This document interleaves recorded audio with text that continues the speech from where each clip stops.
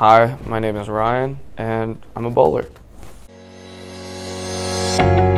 Bowling is special to me because it's kind of a getaway from stress, from school, from like family problems, and bowling has helped me learn that like people shouldn't judge other people on what they look like. They should judge them on how they act.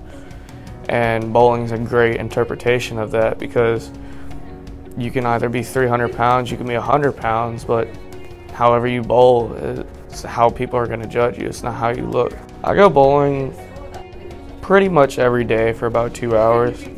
A lot of people don't know bowling is a sport that can go to the collegiate and pro level, which a lot of people find amazing. I enjoy the feeling of bowling because whenever you see the ball like get released off your hand or like it goes like flush through the pocket, it feels so good. In your mind, you know, I just did everything perfect and results showed for it.